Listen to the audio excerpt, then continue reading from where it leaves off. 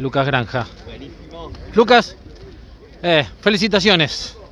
Bueno, muchas gracias, muchas gracias. La verdad que sufrí, che, la sufrí. Pero bueno, se dio el triunfo, la verdad que muy contento. Sumamos buenos puntos, el récord de vuelta, la verdad que después del sprint complicado ayer, lo dimos vuelta, así que estamos muy contentos. Eh, qué buena maniobra en el, en el final para superarlo a Gambarte.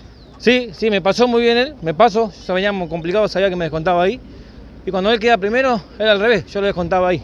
Así que bueno, la verdad que muy contento, un buen triunfo, una linda maniobra. Agradecerle a Luca también, que me, me respetó bien, bien por afuera. Agradecerle al equipo, a las publicidades y a toda la gente que nos acompaña, que nos da una mano para poder estar. Hoy creo que dimos un paso muy importante para meter pelea, así que estamos bien. Hay que seguir trabajando, quedan tres carreras duras, pero le vamos a ir dando pelea. A tres puntos quedaste, ¿eh? la definición que se viene.